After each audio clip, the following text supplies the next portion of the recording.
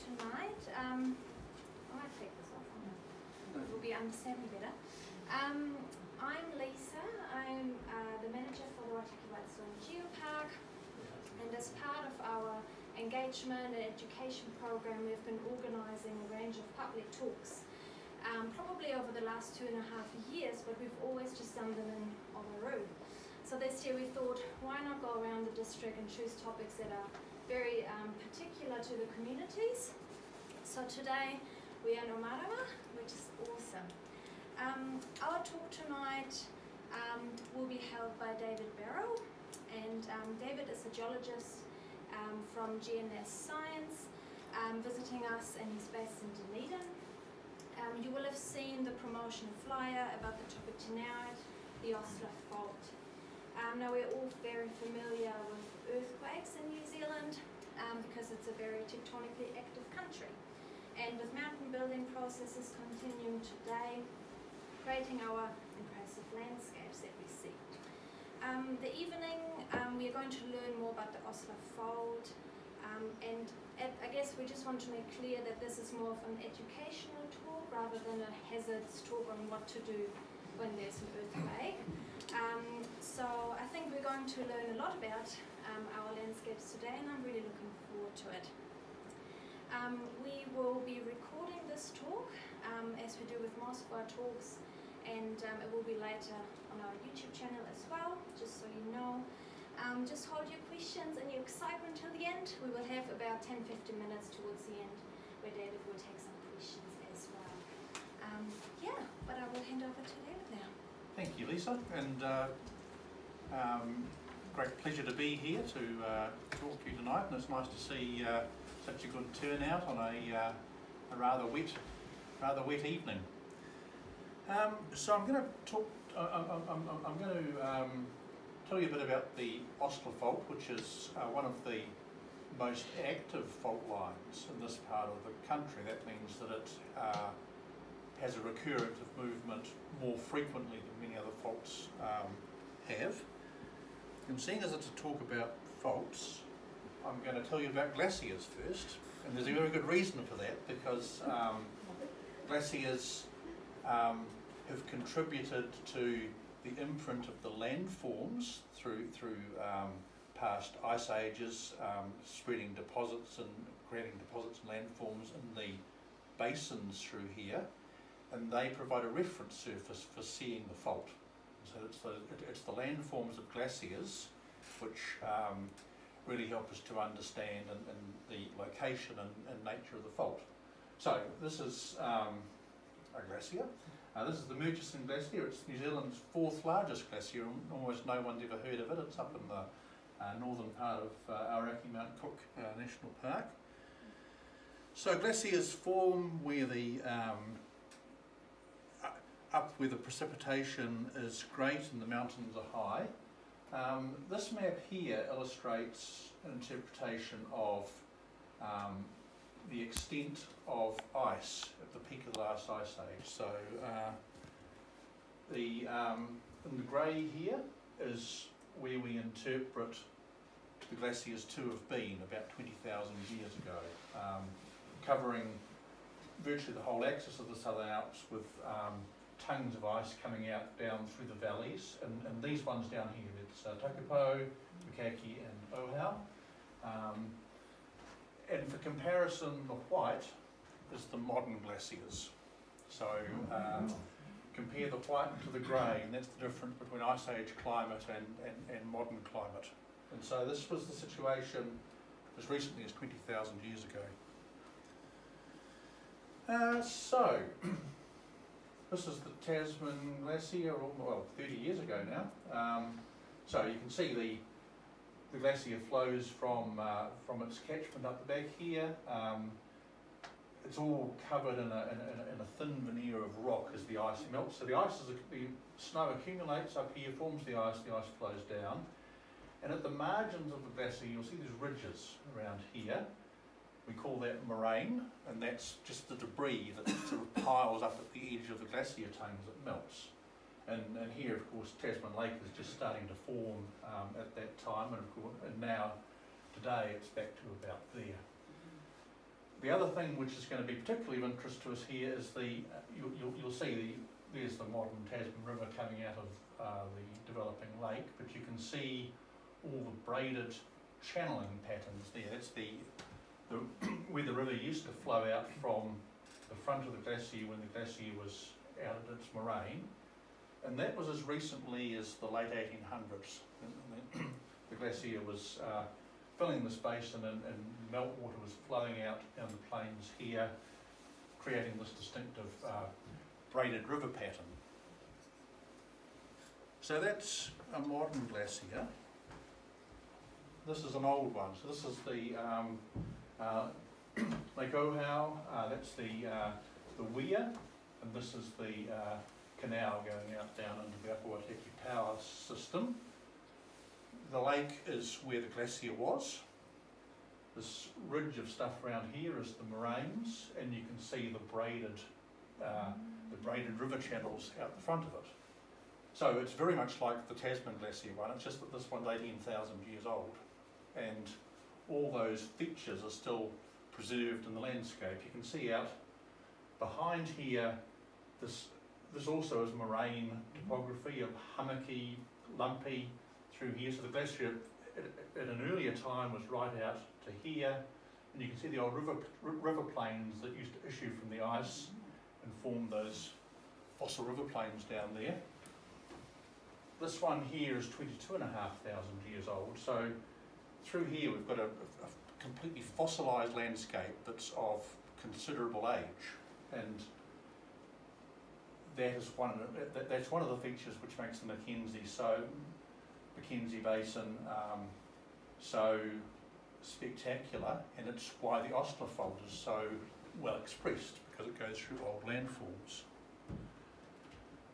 Uh, just for comparison, this is the, the eastern side of Lake Pukaki, and you can the lake is where the glacier was, and, and these belts of, of uh, um, moraine through here, each one marks the margin of the margin of the glacier at a time in the past, and you can see uh, river uh, meltwater meltwater streams broke through the moraine through here, and you can see the braided river pattern. It's, it's an example of a, a completely fossilised landscape, and virtually nothing has changed in the 18,000 years to 20,000 years to 65,000 years out here. It's all just, it's all... So the, the, the ridges that run this way are, are gradual, sorry, you're supposed to wait till the end. Yep. So each one of those marks the position when the glacier was Yep. here. Yep. Um, so there's hundreds of them, so it's, it's, it's a fantastic record. Um, to record all of that, a common way for doing that is making what we call a geomorphological map, which emphasises the landform. So this is uh, Lake Pukaki, Ohau, and in the the oranges are the youngest moraines. They're about 18,000 years and they're around both lakes. Um, older belt that's 20 to 30,000 years in the red, and older ones about 65,000 years are in the green and the different colours of brown out here are the old river plain. So each one of these brown areas through here is um, um, a fossil river plain that issued from the glaciers when they were filling the basins. And in the red through here, you can see a red line which does a right angle turn and then snakes its way all the way through up into here. is the Ostler Fault. Uh, so we're going to um, that's, that's going to be the feature, and we'll, we'll have a tour and a look at all of these features. So the landform map helps to give us a context for understanding, recognising where the fault is, and understanding its movements.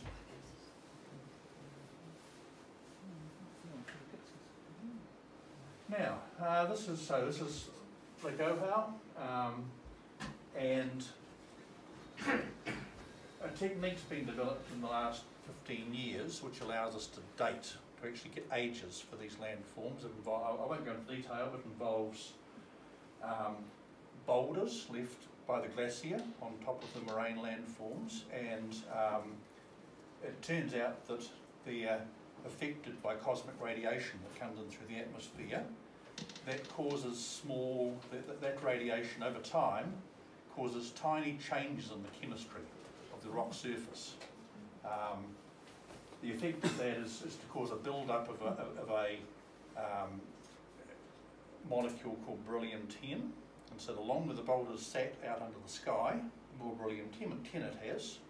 Take a sample, measure the beryllium-10, work out the age to pretty good precision. And, and so uh, this was a PhD study from uh, a colleague of mine in the United States back, because we did this back in the late, two uh, late 2000s.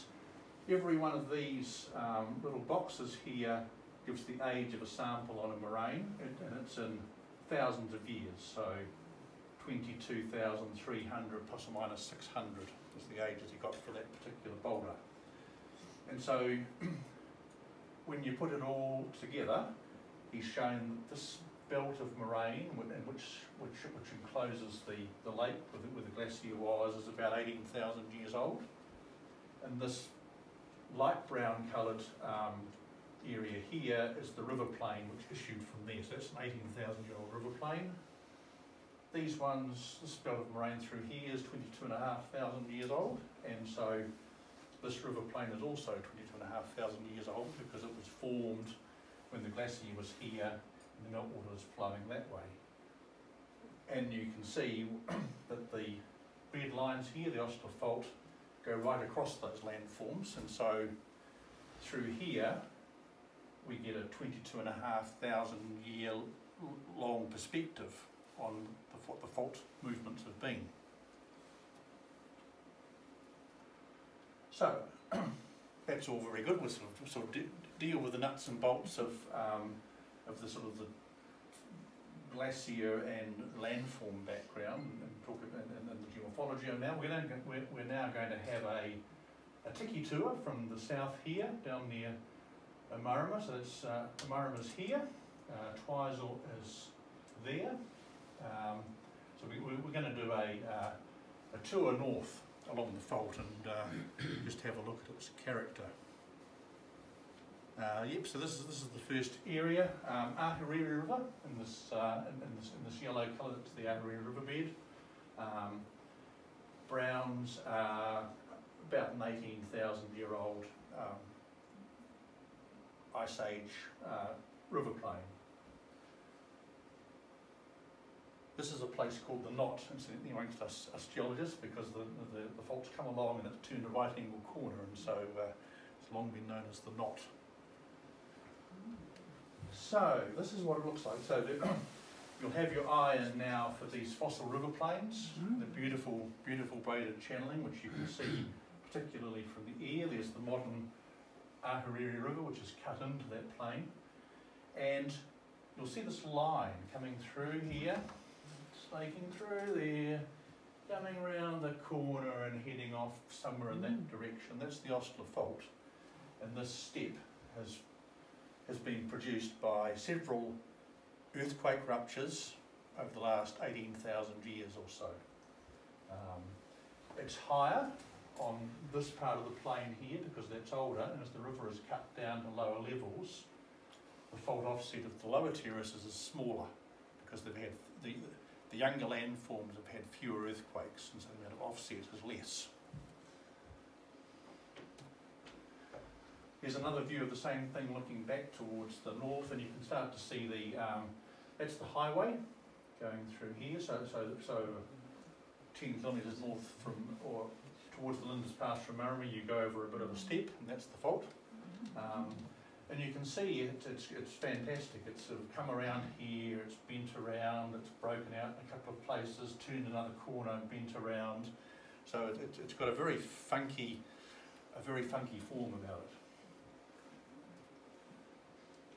Now this is a very similar view, but looking further north, uh, Lake Ohau, Pukaki, and Clay Cliffs is in here, and a range of, there's a range of low hills um, heading through here, and they're there because the fault line out here has lifted them up over time. So this, this line of hills from Clay Cliffs through Table Hill and, and, and northwards is there because of the fault. And they have I would say at, a- at a rough guess that um, the height of these hills here is probably about half a million years of uplift along the fault. Earthquake by earthquake, it's jacked it up, erosion has dissected them.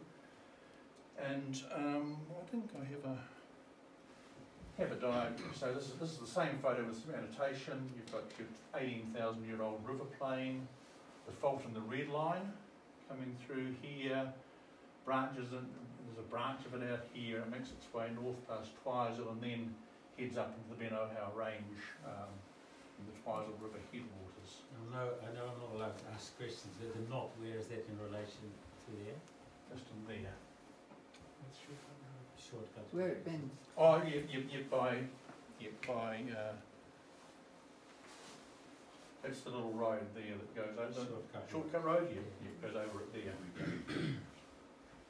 This, uh, these diagrams are actually, um, on the information panel at Clay Cliffs. So these are actually, this actually where, where they're from. Because I made them. Um, and so that same view here, we're going to have a little look at the geology under that next diagram.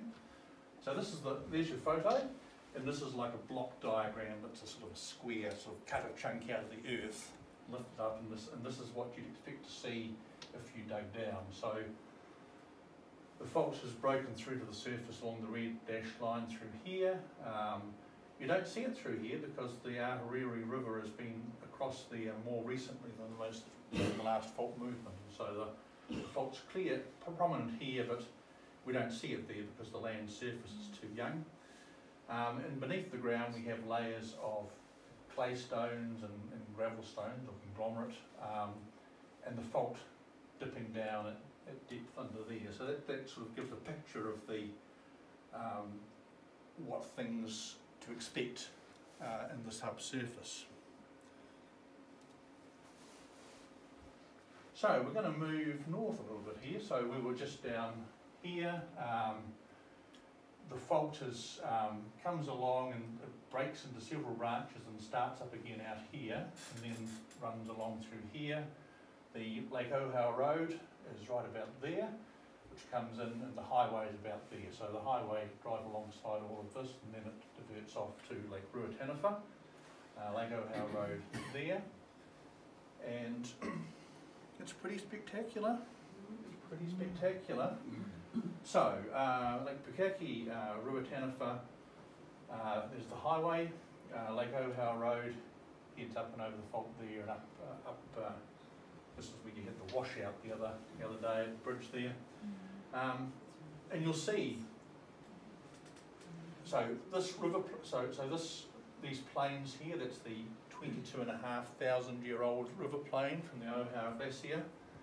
Um, and you can see the fault is at the foot of the hill here, it's come around, it's broken out, it's wrinkled up the ground, so it's broken through, wrinkled and bent things, stepped over out here, stepped back in there, runs along the foot of the hill there, and we'll, we'll look more at the continuation of it in a minute. Um, this uh, landform here is moraine. You can see look, there's little ridges through there. So the, the, the glacier was out this far at some point, the Ohau Glacier, and, and the rest of this is uh, Old River Plain. It's uplifted about 200 metres relative to, to this side down here. Um, this is this is called Table Hill, and we do have some dating that suggests this is about 130,000 years old. That landform, 200 metres of offset and 130,000 years. About the same as we have here. This is as much as 20 metres high on 15 to 20 metres, sorry, 20 metres high on a 22 and a half thousand year old landform. Um, just a bit more of a close up, you can see um, uh, the distinctive thing is you can see the old river channels coming down through this gap through here, and they go right over where the fault is, and they're continuing the same grain out there, and the fault's gone right across the line of them. So that's one of the diagnostic things of a, of, of a fault such as this, is that um, it's clearly cut across the things that rivers formed. And so this step through here can't be can't be a river. So a ri- a river didn't make that, and that's one of the the real beauties of um, the record that we have in the landforms of the Mackenzie country, is we can see this so clearly expressed for what it is. Um, you know, there is there is no better example anywhere that you would find in the world. You find some just as good, but, but, but better ones, I think you'd be pretty hard pressed. Um, just to compare, it's, it's, it's fantastic seeing it from above, but I'm I also have some shots from the ground, just so that you um, get them, get the idea of they can be quite difficult to spot when, when you're on the ground compared to up in the air. So this is uh, uh, from State Highway 8 at the uh, Ohau Road turn-off. The Ohau Road's there. And so from the highway you just look towards them, the uh, Ohau Range in the back here and, and, and the land steps up. You sort of think, oh, that's a, a river or something, but no. The river plains go this way across it and that step there is entirely the fault. It's what the fault's done in 22 and a half thousand years. Just to go back into the air because it's so much better to see it. Um, so we were just looking uh, from the ground back back there. Uh, Lake Ohau is just out of sight through there, and you can see these these these, these, river old river channels just they go right over the fault, and so and so and so the fault is broken and buckled through um, all of this beautiful architecture of these uh, fossil river plains. David, before you move on, can you explain the springs? Have they just popped up along the fold as well? One's through here. Yeah. Yeah, so, so um, because it, it rains, we've noticed it rains, um, so there is a groundwater table un, un, under here which um, percolates down to a certain level. It might be uh, you know, 10 or 15 metres down before you get down to the sort of the, the, the permanent saturated water table. And the, the, the, fault here is high enough that on the so if, if, if- the water table's you know, that far below the surface up in here, um, and the fault is that high, then at the fault, it's sort of, the groundwater sort of bumps into the foot of the fault. Mm. So that's, that's one of the reasons that you'll have springs just there.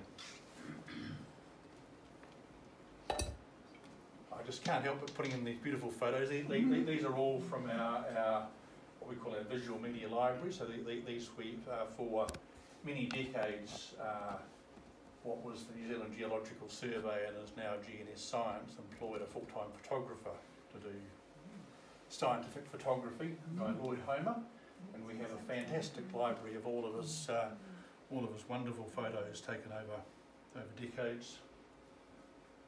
And again, this is, this is the Spring Creek Conservation Area, so this is just um, from the highway, this bank that you look at there, that's the fault.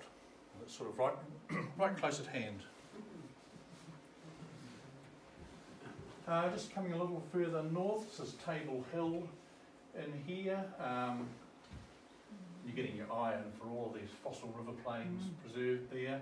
Um, the fault offset here is about 200 metres into an older landform, and you can see it's got a whole series of cracks running along the edge of the bank. So it's all, sliced up into little cracks, which is probably just gravitation, just dropping things down a bit. And there's been some quite spectacular landslides come off the, um, the uplifted ground. Um, there's the fault scarp. See the little line through here? That's the most recent movements. And you don't see it under that landslide, which, so that's one of the little clues. I, I look at that, but you, you, but you see it again just over on that part of that landslide. So Mm. the fault has moved at least once after this bit of landslide came down, but not since that one came down. So you can start to get a relative chronology of the amounts of offset in the landscape from um, from from the way it affects the landform features. That's just a view of uh, landslide from, from the highway, just to um, just and just so that's about that's how much offset the fault's done in about 130,000 years, maybe a bit more. We, we, we can't date these things precisely, but it's um, it's uh, pretty impressive. Now, just coming into um, Lake Ruataniwha in the uh, Pukaki and Ohau canals uh, through there, and so the, the Ostler fault has got, it's broken into several strands by these red lines here. This, um, the main strand comes through here, uh, there's a hill called Mount Ostler here, which from, from which the fault takes its name, after which it is named. That dies out.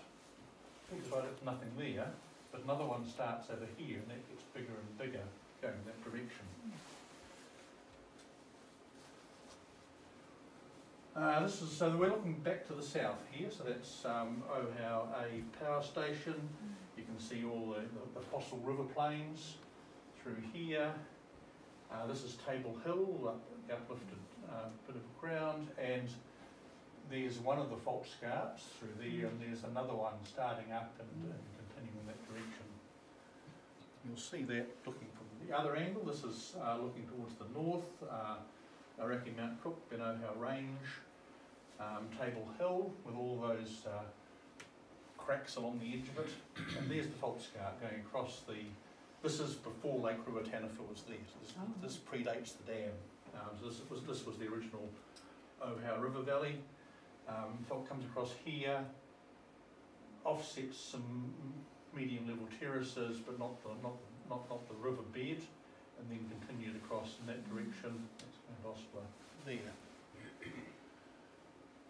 Um, and that's the fault scarp. This is from um, corner of Max Smith Drive and Freda du Faur Place. So this, this, is uh, the entrance into the rowing complex um, and, and the uh, Ruataniwha camping ground.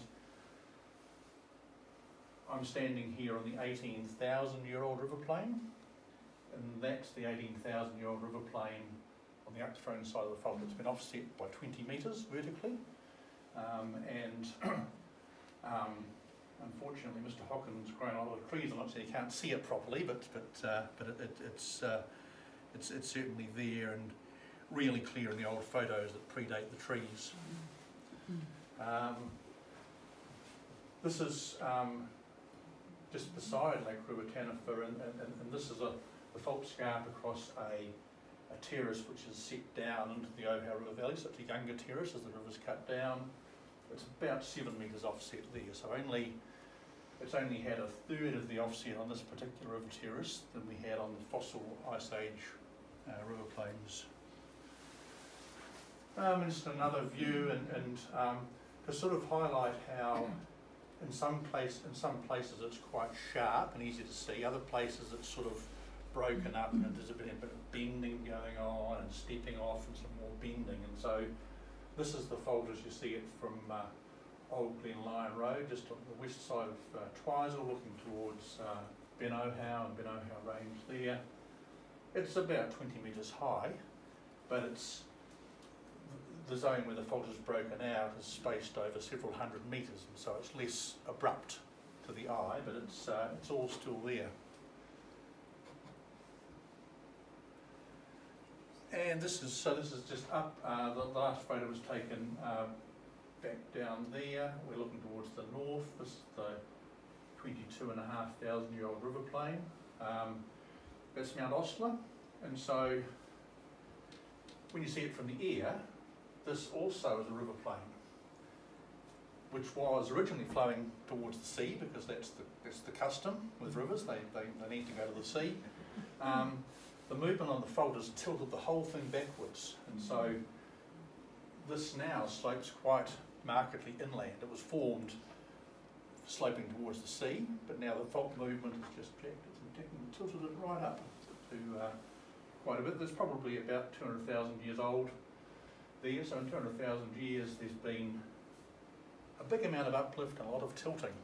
Um, and it's all, all thanks very much to these fossil ice age landforms that give us this frame of reference in the, uh, in the uh, Mackenzie Basin.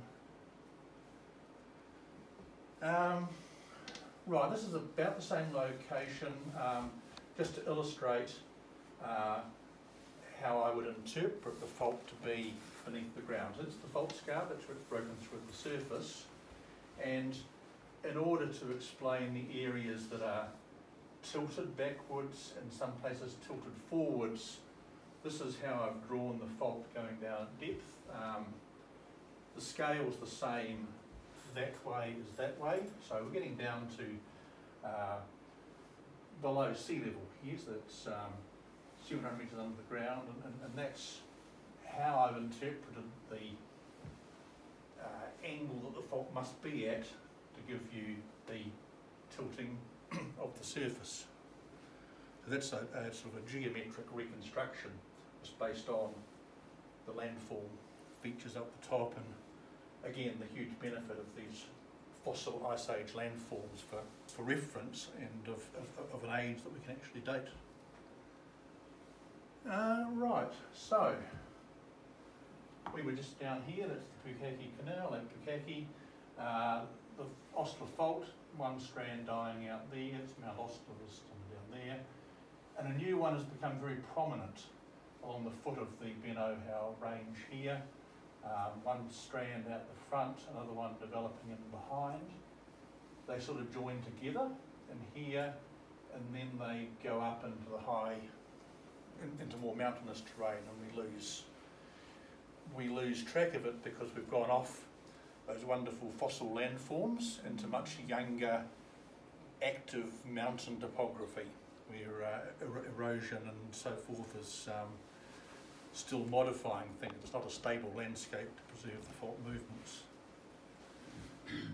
Uh, yeah, so there's the this is the one at the front, and you can see um, what's often a, a, a telltale sign, if you like, that the fault is not diving steeply down into the ground, is that its surface breakout is wobbling all over the place through here, sort of breaking out here, wobbling and going forth, which is um, a very good sign that the fault's actually inclined quite gently, and each time it moves, it's sort of bulldozing things, and so it's sort of bulldozing its way out of the ground, and it's breaking out and making a bit of a mess. If it was much steeper, it would be a much cleaner break. But because it's having to bulldoze its way through, you get this really wonky sort of a surface expression. And there's the other strand of it along the foot of the hill through there. And we and we're starting to uh, here you'll see these um, hummocky this hummocky ground through here. Uh, moraines from glaciers, not of the Ohau or the Pukaki Valley draining from the main divide. These actually formed locally in the Ben Ohau range and flowed down the valley. So these are the moraines of local glaciers that came down the valley systems here. It's a very early Lloyd Homer photo, but it's in black and white and it's got good contrast. And so we were looking down here at this these wonky expressions of the fault and it gathers itself together and then goes into the mountains as a very sharp step. Um, I would guess it's gone, the fault down here is sort of more more gently dipping down. I'd say up in here, it's probably steepened up a whole lot. And that's why it's sort of sharp like a knife. So there's a, there's the, the view of what it looks like. And I'm just going to spend um, uh, a little bit of time now just putting that into what it means in the wider world and actually looking at the, the whole context of it at a New, Ze- at, at, at a New Zealand level and, and, and then sort of zooming in on it. So a little bit of um, big picture to start with. So this is, um, so many of you will, will know this, but just, just, just by way of summary, um, the Earth's crust is made of two basic types of rock. We have continental crust, which is light and quite thick, and that's what's in the greens and the yellows. we have ocean crust, which is quite dense and quite thin, and that's what formed the ocean basins. And these zigzag blue lines through here are where these blocks of crust, we call them plates, that's one plate, that's another plate, like the plates on a scales on a on a fish, and they um, the blue zag the, the blue jagged line is where they're spreading apart, and in other places, these uh, pink lines through here, the ocean crust is diving back down under the continents. Um, to a geologist, it's all pretty quick. Um, in reality, the movements of any of these things is about the rate of fingernail growth. Give it long, you can grow some really long fingernails given enough time. Uh, right, so just going to just stay, go back into the past. So as recently as 200 million years ago, and I'm saying that as a geologist, as recently, um, what we know now as New Zealand was here on the margin of the Gondwana supercontinent.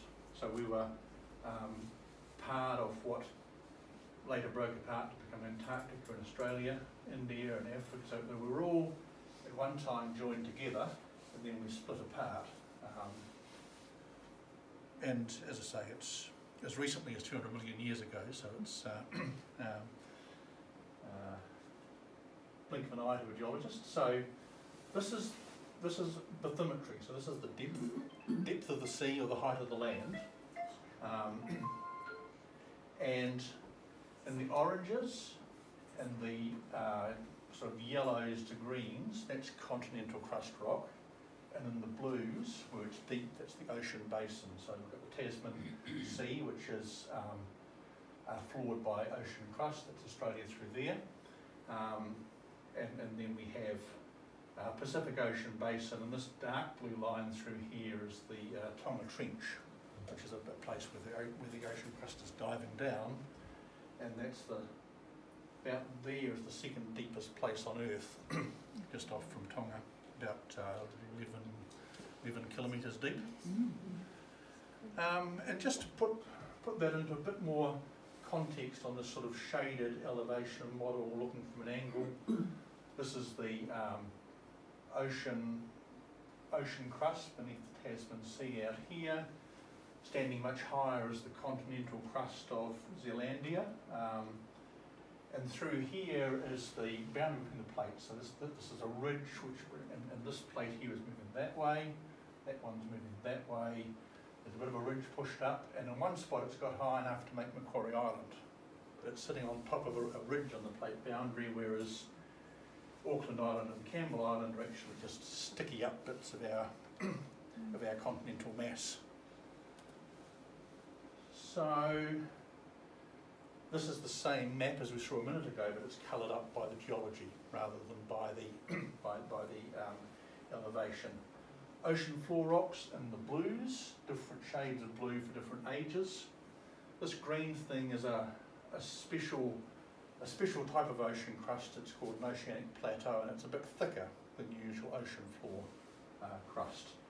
And in the pinks through reds and yellows, this is the continental rocks of Zealandia. And you can see that it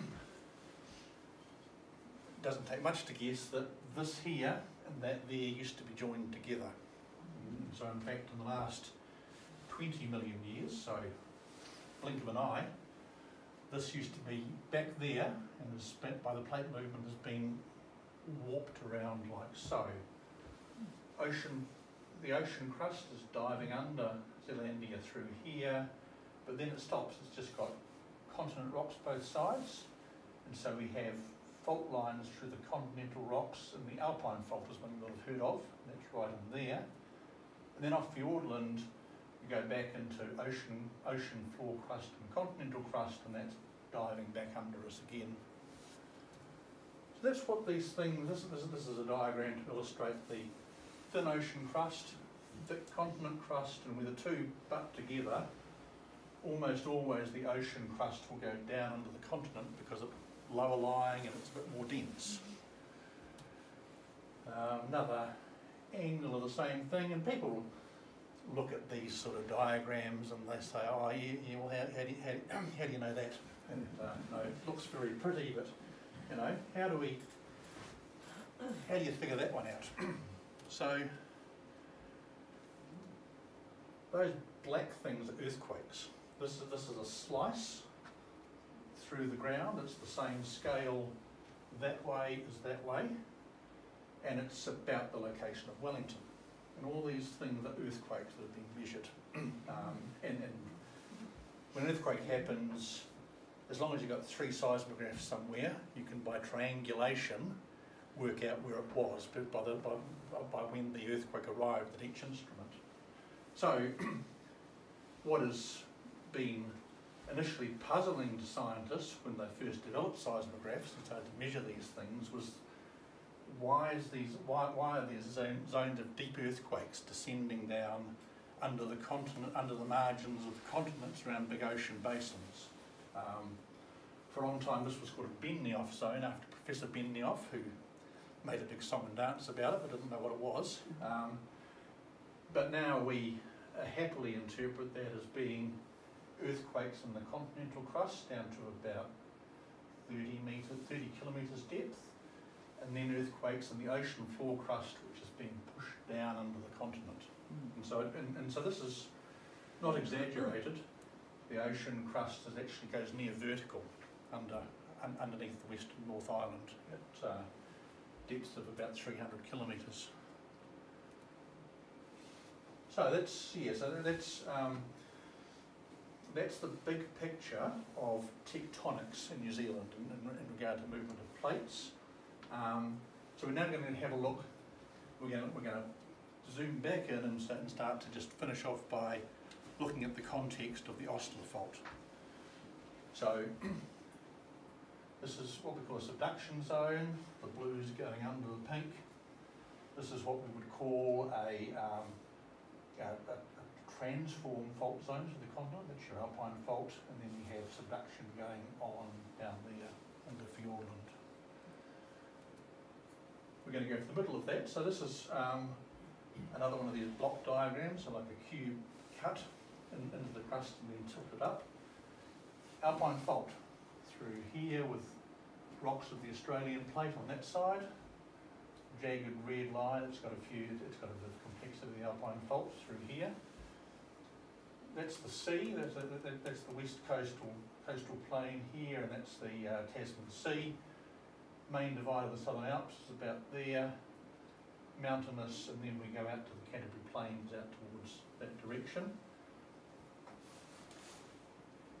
Alpine fault is interpreted as um, going down at a, I don't know, probably a, a, moderate angle, not, not too steep and not too gentle, about like that. Um, and as it gets down to depth, it's thought to sort of flatten out where the rocks become more ductile and um, it's thought that all of these red and orange lines through here, which, which are which are the faults that have broken out to the surface, are linked into the alpine fault at depth. The alpine fault is sort of diving underneath us, and these faults are breaking back out the other way, um, sort of partly accommodate all the compression that's going on.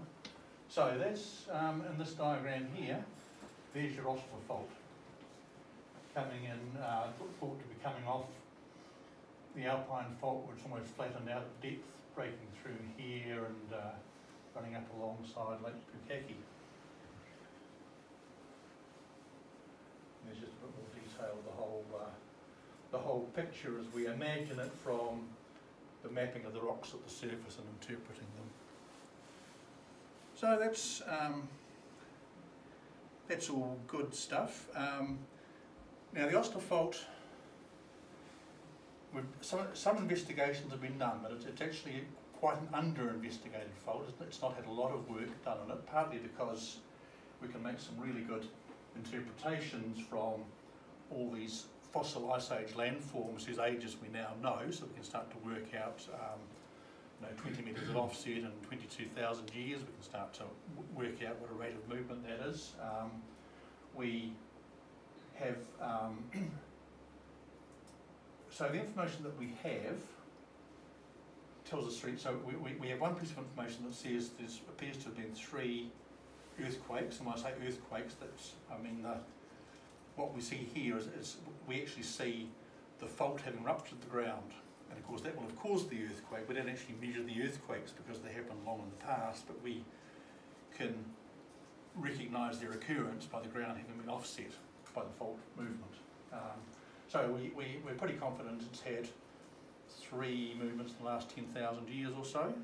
Um, that's about an average of 3,300 years per, per earthquake. Um, we, we, we know at, at, Lake Ruataniwha that the 18,000 year old uh, fossil, fossil river plain and the 22,500 year fossil river plain both had the same offset on them. The fault didn't move at all in that time period of almost four and a half thousand years. So that's, that's, that's a, a good piece of information. Now, does it move regularly? We don't, we don't really know. We don't know how much it moves at a time. Um, I think it's, I would say that probably my overall best guess would be that it moves every, on, on average, every three and a half, four thousand years. Um, probably breaks through the ground and you get an offset of three or four metres each time. and that's going to be a magnitude 7 or 7 and a bit earthquake when you consider how long the fault is and um, that amount of movement. It gives you a big earthquake each time. now what that does is makes quite a big step in the ground and, and certainly makes a mess of anything you build across it. This is uh, 2016 Kaikoura earthquake. Uh, this is the Papatea fault, which is um, towards the, uh, the, north of Kaikoura.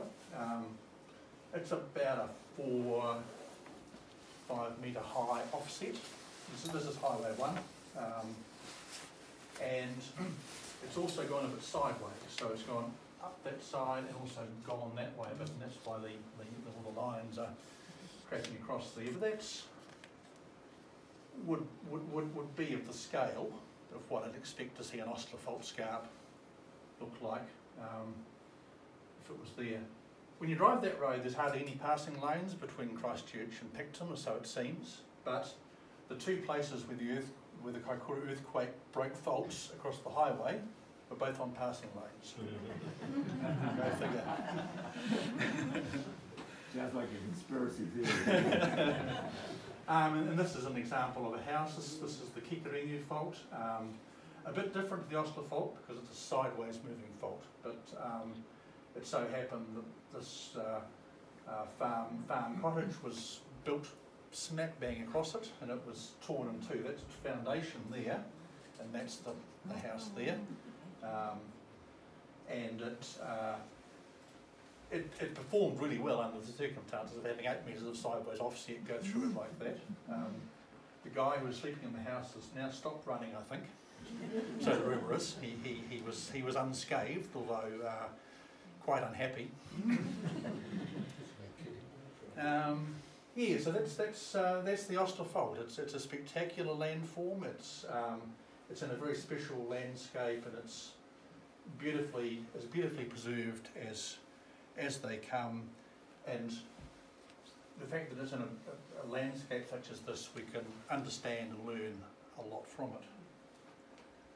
So just to highlight that you know up in this part of the world you've got you know some really outstanding landform features uh, particularly these huge areas of fossil ice age landforms these fossil river plains and all these moraines which are um, you know pristine even in that space of time. Um, the glacier records really, you know, there's a fantastic record of glacier fluctuations here, which I didn't go into, but, but being able to date the glacier behaviour helps inform us about climate.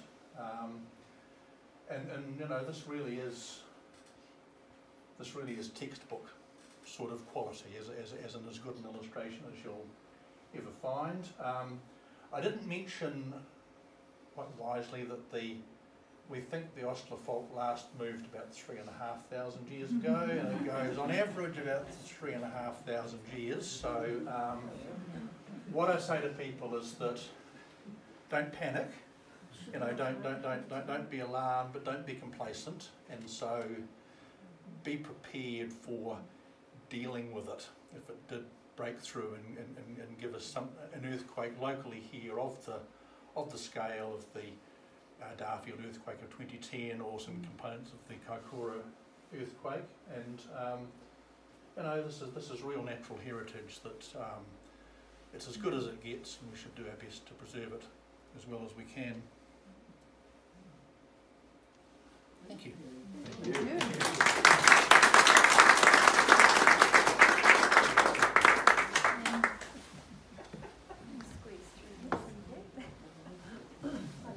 Uh, you predict that the um, Ostler fault is not far away. In terms, you said uh, a quake of measuring seven.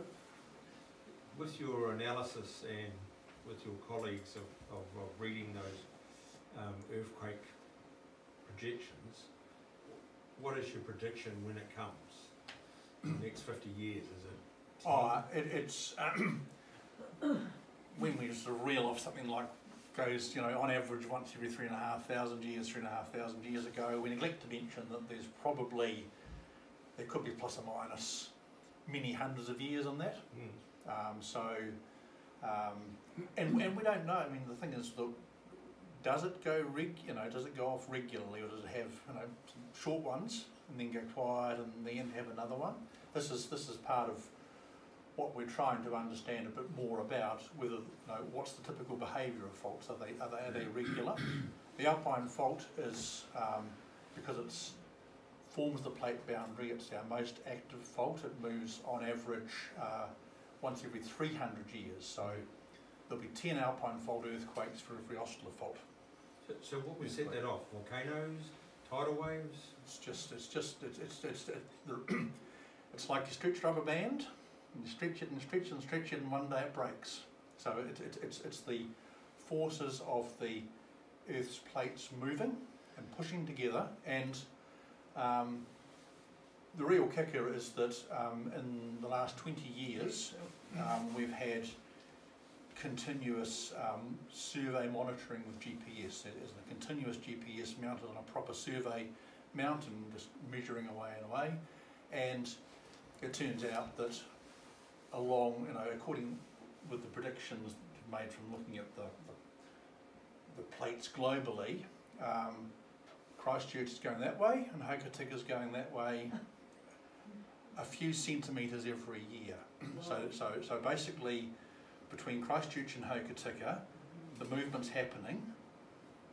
The rock must be bending and it must be taking the strain because we know the, the, the, fault hasn't moved, and one day that's just going to go bang and things are going to even up again.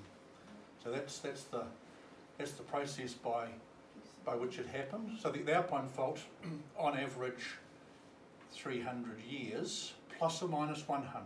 So there's a fantastic record being done by some of my colleagues uh, going back 8,000. They've got 8,000 years of Alpine fault movements um, from measuring uh, offset swamp deposits in, in, in, in a special place where the sediments have built up each time there's a fault movement. They've got 8 8,000 years of record, about 28 earthquakes. Sometimes it can be 450 years between earthquakes, other times it's 250. So sometimes, so even that fault has a bit of variation, but um, what we know about that is that 300 years plus or minus 100 is about, about the average, and it's 305 years since it last moved. So that's the one to um, out out here. I mean, you know, we're 80 kilometres away from where that epicentre will be, and so it won't be as intense as it will be for some. Probably not going to make the mountains fall down or, or, or anything too dramatic, but um, it's going to be a good long shake. So if, if you do happen to wake up, and, and remember there's a 33% chance it's going to happen when you're asleep. If, if, if, if, if you manage eight hours sleep a day. Um, and, and so that um, when it happens, you'll sort of feel that there'll be a big swaying thing, and if it stops after about half a minute, it's probably your Ostler fault. But if it's still going after two minutes, then that's almost certainly your Alpine fault. So, so that'll be um, the Kaikoura earthquake went on for about um, two minutes, and it was magnitude 7.8. So Mm. about four times smaller than an alpine fault earthquake would be. So, so if you find the earthquake's going on for a hell of a long time, then Yeah. alpine fault's probably David, place to what are the chances of other fault lines um, appearing with a major alpine, after a major alpine fault? Um, probably the answer I'd always give is that um, because the Alpine fault moves so frequently, and we have an Ostler fault which moves, you know, only one tenth as often, um, we can be pretty sure that the Alpine fault doesn't usually trigger the Ostler fault. And, and, and so, um, because there are there are no other faults anywhere, you know, the, the most active fault after the Alpine fault is several times less active. So I think in general, they're not going to depend on each other in any particular way. I mean, they're, um, there'll be a degree of randomness, you know, that, that, that the ones that move infrequently, you know, they don't move very often, and, and the Ostler fault at three and a half thousand years is, is quite, you know, quite, quite regular. There are many more which probably don't move once every 10,000 years, but there are so many of them, when you start to add them up across the whole of the East and South Island, you sort of rapidly run out of fingers, and then you run out of toes, and you, you end up with about a hundred other things, all of which don't move very often. Because there's a hundred of them, there's a chance you're going to get one happen in any particular window of time. The um, Greendale fault that caused the 2010 Darfield earthquake, its previous, most recent movement was 25,000 years ago, you know, distant past. Um, and, and so it just so happened that, um, you know, Christchurch was built unwittingly very close by a fault we didn't know about and a fault that on all, you know, for all intents and purposes, just is highly inactive, and so, but it happened. so that's the, I think the,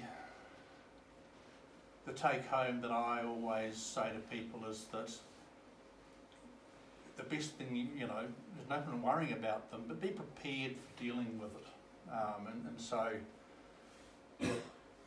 there's a one third chance it'll happen when you're asleep um, uh, any earthquake nearby. I mean, it's, it's, it's, it's quite a big chance, and so um, keep your sleeping area safe. Don't have a great big wardrobe full of you know huge pots and ornaments unsecured hanging over your bed, for example. Um, you know, know where your shoes are, know where a torch is, um, because the thing which we've found in, in the earthquakes of the past 12 years is that, um, you know, a lot of um, adverse effect on people is because you know they've leapt out of bed and tried to drop cover and hold and cut themselves on the broken glass from the window and you know then you've got to try and find a first aid kit to stop the stop the cut foot and so forth. So just simple things like secure sleeping area, know where there are shoes. You know everyone's got a torch these days with the mobile phone, but um, you know those, simple things are just ways that we can.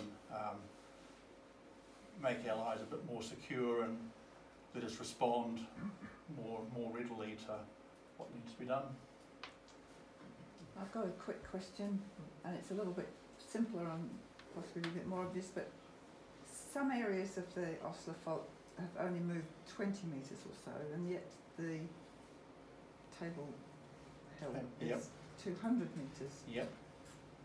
I'm curious about why the difference at that point and So difference in age. oh, okay. Table Hill's been around for two hundred Oh, it was already years. a lu- it was already a lump in. oh, but no, well, so, so, so it, it, began just the same as the other ones. yeah. Two hundred thousand years ago, it was it was just a river plain. Then the fault moved and jacked it up and jacked it up and jacked it up and jacked it up, and kept jacking it up, and then another ice age cycle rolled into Lake Ohau and, and, and Pukaki, and, and the Oh, so glacier rebuilt, it up. and then it and then it's made new outwash plains through there, which are much younger, and so. I don't know. Uh, they've only had 20,000 years to collect movement, which amounts to um, 20 metres, whereas Table Hill has sort of been started off growing and has kept growing for 200,000, so that's why it's high, higher. Um, At the point that the uh, Ostler Fault crosses the Ahuriri River near Clay Cliffs, and you, you showed your photograph where it displaced the road and, and, and so on. Um, it appears that the current Ahuriri River may have got pushed to the north and account, possibly account for the big swing of the Ahuriri River to the north a question for those of us that live in Omarama, and we think about it quite a lot, especially in these rainy periods. is the Ahuriri River likely to swing back towards Marama? Or is the dam effect of the, of the Ostler Fault crossing there sufficient to keep it over there at least for our lifetimes? Um, it's, it's, it's really hard to tell sometimes in, a- in a landscape. I mean, a, a river is its own agent. I mean, you know, people think it's a powerful river, but actually all it's doing is flowing, flowing as gently to the sea as it can. Um, it's just that around here it's, it's got quite a steep path, and, and, and so it, it does have some power to it. Um, it, it it could as easily have gone around the other side of the fault where, it's, where, it's, where the fault's done that turn, but it's, it, sort of it just so happened, I think, that it was in the current, roughly its current path when the ice age ended and, and, and the fault start, fault scarp started to, to offset those fossil plains. So, so I think it's, um, I'd say it's probably just a matter of luck of the draw that it was flowing somewhere over in its current path at about the time when it, it sort of got locked into that path. And it's partly because um, during an ice age maximum where, where the glaciers are fully expanded and, and they're pushing all of their gravels being washed out of the snout of the glacier and flowing on down uh, downstream, that's a time when sediment uh, you know, is, is abundant being, being sent down the river. And when the glacier pulls back, it makes a hole of some sort that traps all the sediment, and so um, suddenly that river, which had lots of sediment, has suddenly um, got plenty of water but no sediment, and that's why it cuts its bed down usually, and so that, that's why Pukaki River has cut a huge canyon, um, just because of that lake bear stopping the sediment, and, and the same thing is um, happening as we speak with uh, Tasman Lake up at the up, up, up, up at Aoraki Mount Cook, where when, the, when that lake formed, that river channel just cut down like that and, and, and locked itself into that position. And it's not going to readily change. Um, could it break out this way? I mean, I, I think it's, um, at least here, we're on a terrace that's six, seven metres above river level. So actually up on here, we're on a terrace, which is um, not going to be overwhelmed un, under any any foreseeable conditions in, in, in, the modern climate, and so probably take another ice age to sort of change that situation. So up, up here we're fine. When you're sort of down at camping ground level, you're a bit, uh, the freeboard's pretty limited. And, and so um, it's, it's, that's quite vulnerable to Omarama stream and, and the Ahuriri coming together there. But I think um, more than likely that's that's how it's going to play out for a very long foreseeable time. Like the, the status quo is going to remain? I, I, the- yeah, I would say, yep, yep, yep. I- Good, thank you for that. I Don't, much don't, don't panic, don't panic. I just take one last question? Sorry, I'm, I'm conscious there's another meeting at seven thirty here, but maybe while we tidy up, there we can probably answer a few more. Thank you. Um, I noticed that the canal and the Ostler Fault are meeting at one place. What implications might that have for Twizel residents if we had an earthquake on the Ostler Fault? Uh, it, it's, it's, so, so no problem if the fault doesn't move, but, um, when it does, and I'll say when it does move, who, who knows when that's gonna be, but it is gonna move sometime into the future. It will break across the canal, um, just to the, uh, just to the north of the Twizel River. Um, and in, in fact, the, the design strategy, I'm I'm aware of, you know, what are we gonna do with that? So, so th- th- th- there's no real mitigation in the canal design for that. Um, if that happens, it's a, the whole design has put it in a place where if, if it breaks, the flows are going to go down the Twizel River channel, um, and of course they'll instantly cut off the flow at um, the uh, Pukaki outlet. So, so it'll only be a, a canal full of water that has to be drained out. Um, so it's not it's not like all of Lake Pukaki is going to drain drain through Twizel. So, so those are parts of the um, those are the measures there. So they accept that, that the possibility is that the canal will fail if the fault moves, and they'll just deal with that. Um, for New Zealand, the implication is that suddenly we'll have three power stations which are fed just from uh, Lake Ohau rather than from Lake Pukaki as well. So Ohau um, uh, A, B and C will then only have water from the Ohau system going through them and so there'll be, um, could be a bit of a, bit of a power crisis but um, otherwise Benmore and Aviemore and Waitaki will be doing their thing same as they ever were. Thank you. Excellent. Thank you so much, David. Um, I've learned a lot from the small picture to the bigger picture of where it all fits in within New Zealand and especially spotting the fault because I knew it was there and some landscapes I thought might be connected to it. So now I'm actually looking forward to driving around next time and spotting it all around. So thank you on behalf of the Geopark and I'm sure of everyone here. Um, we've got a little goodie bag Oh, thank you from very much. goodies Lovely. as a thank you. And just as we were talking about preparedness with earthquakes, I thought I'd just mention that as a geopark, we are also involved in organising um, a talk in Oamaru um, by a group that's called AF8. So they are um, going around the country and preparing communities on what to do when the Alpine Fault ruptures. Um, so that's going to happen. I'm pretty sure it's in the first week of October, but I will make sure it's also in the Gazette. So if people are interested, come to that one as well. Okay. I think we, at the end. As you would have seen, there's some information about the geopark if you're interested to learn a bit more. And other than that, thank you so much for coming out tonight and have a safe drive home.